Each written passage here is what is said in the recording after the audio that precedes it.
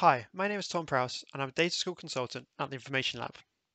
In this session, I will go through a couple different techniques on how to identify and fix when you've got duplicated data within Tableau Prep. My first example is when there are multiple lines which are duplicated within your data source.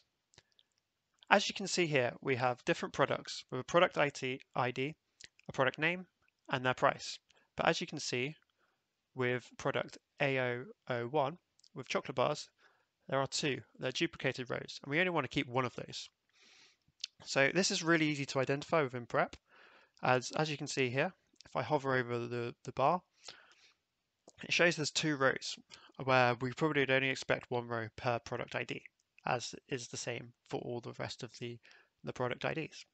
So to overcome this, we can use an aggregation step.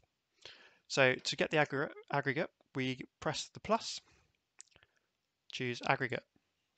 Now from here, we want to group by all of our products and product IDs. So we can do this by selecting product ID, bringing this into group fields, and then the same with our product name as well.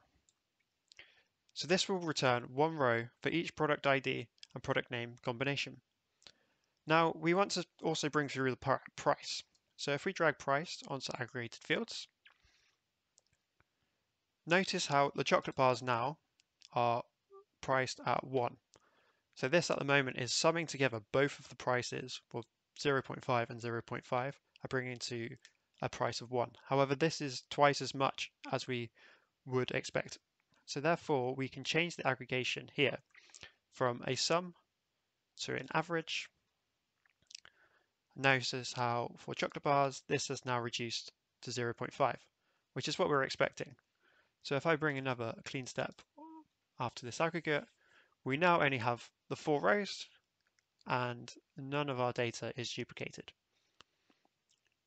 So this is just one example of how to duplicate, deduplicate data within Tableau Prep, but sometimes we can't use an aggregate as shown in this second example here.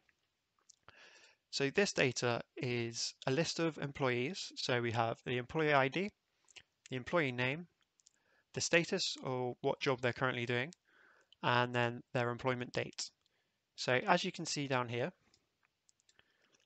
each row is a different point in time. So as you can notice, when someone changes the status of their job, this just gets added to another another row. So for example, Carl here has was started as a consultant, but then later changed to be a trainer. So when we're working through this, sometimes it's great to see each individual role, but other times we just want to see what the employee's latest role is. However, we can't use a aggregate tool with this because it will bring through every um, every combination of row where it is employee name and status. So we need to think of something a bit different here. And this is where the uh, Tableau Prep fixed LODs come into play. So the first step here is we want to create a fixed LOD on the employment date. So we can choose the three dots, go down to calculated field and select fixed LOD.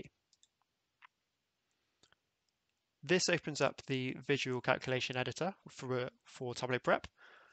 We can double click up the top here and we want to return a latest date. So that's the name we are going to give the calculation. From here, we want to group by employee ID. And then instead of the minimum, we want to bring the maximum. So in a sense, we are just, just returning the, the latest date where the status had changed. So notice down here, Carl now only has the 4th of the 2nd, 2019 on both rows of data, which you can see here is the latest date. So after this, now we've got the latest date on each row we can use a filter just here. Now we want to say we want to filter and keep the rows where the latest date is equal to the employment date. So this is saying if the latest date is equal to the employment date, this is the row we want to keep. We press save. And notice how there's only four rows now, one for each person and Carl his latest, um, the status of his latest employment is a trainer and with the latest date. And just notice how we've reduced the amount of rows and get got rid of any duplications. There was a great blog post on the Preppin Data website on how to deduplicate data. So please take a look at this in the link in the description. And this goes into great detail and goes through another couple of techniques as well. I hope this has covered some of techniques to help you deduplicate your data. Make sure you subscribe to our channel and take a look at the related video, which is all about pivoting from columns to rows.